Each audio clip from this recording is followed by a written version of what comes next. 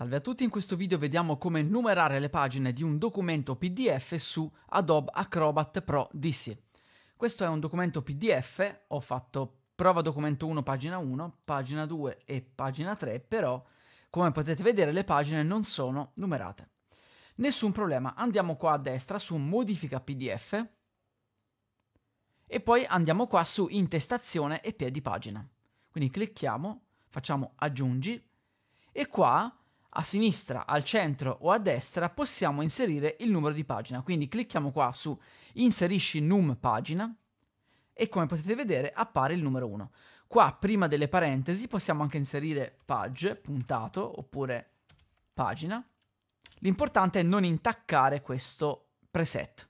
Quindi lasciamo le due parentesi di apertura e chiusura con all'interno il numero 1, che non è un numero fisso ma è un numero variabile. Quindi facciamo poi ok e come possiamo vedere, andiamo in basso, pagina 1, pagina 2, pagina 3 è stato applicato a tutte le pagine del nostro documento PDF. Quindi facciamo file salva con nome, andiamo a salvare il nostro documento finale in PDF e poi andiamo ad aprirlo.